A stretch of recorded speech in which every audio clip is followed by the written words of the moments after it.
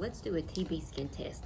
Uh, another name for a TB skin test is PPD skin test or a Mantoux skin test. Depends on who your doctor is and how they write that. But a TB skin test, you all had to have one to get into the program. You had to have two to get into the program to go to the clinical sites.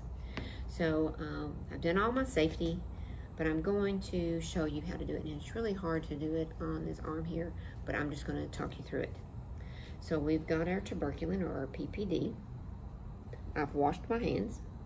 You want to be sure that you're giving something that can go in the intradermal because it's going to go right under that top layer of skin. You're really going to be able to really pretty much still see the needle through the skin. I don't know if any of y'all were, when you were kids, used to take straight pins and put them under your skin.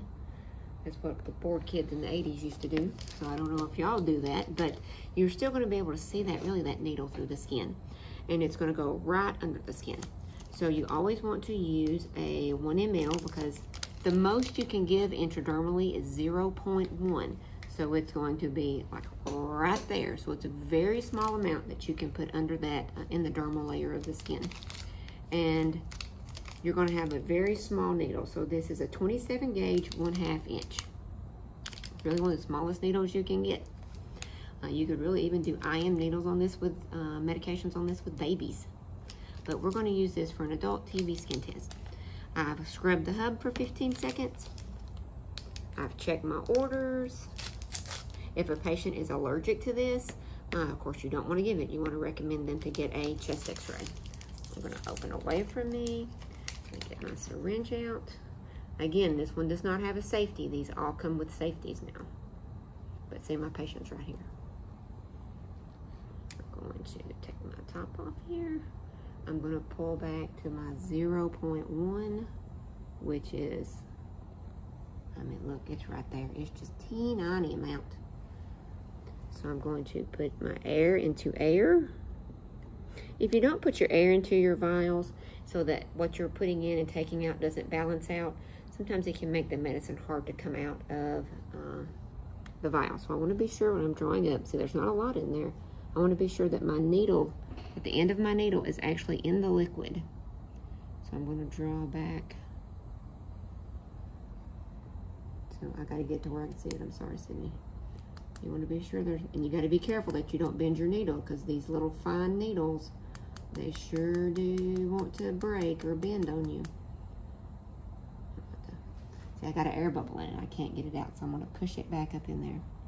And I'm going to draw back out slow again. Get it to the point one. It's to the point one.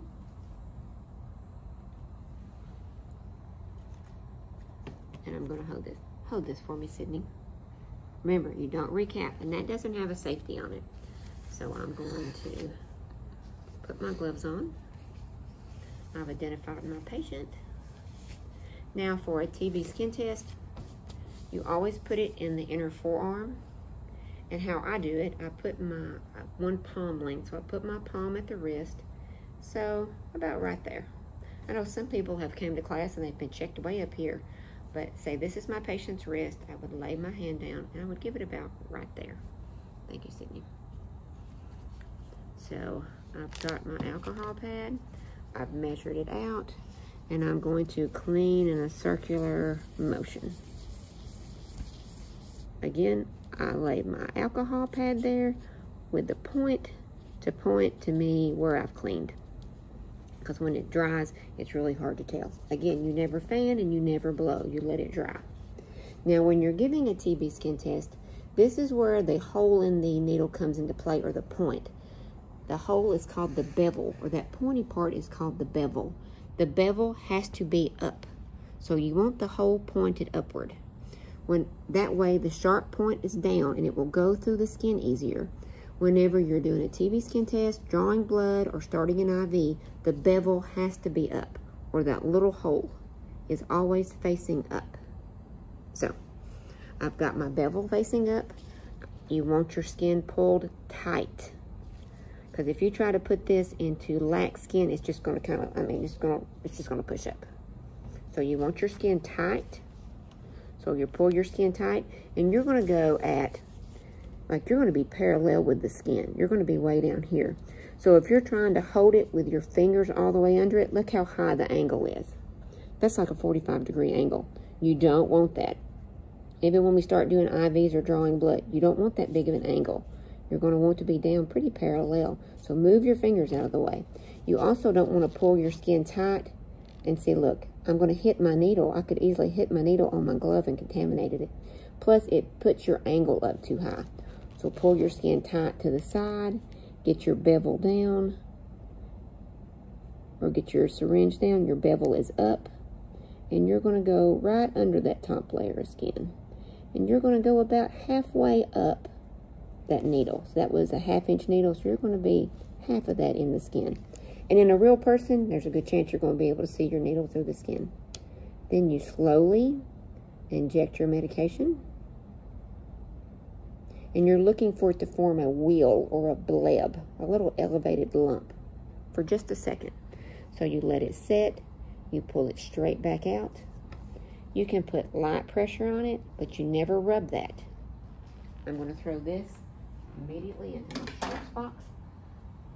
And then with a true TB skin test, you will mark that area because the nurse will have to come back and read that 48 to 72 hours later. You'd never uh, do it like this because you could spread it and cause you to have a false positive. Uh, they don't even recommend you put band-aids over it because it could also cause a false positive. So that is your TB skin test. Again, directly under the skin, low angle, bevel up. The most you can put in is 0.1 ml, so a very small amount under that top layer of skin.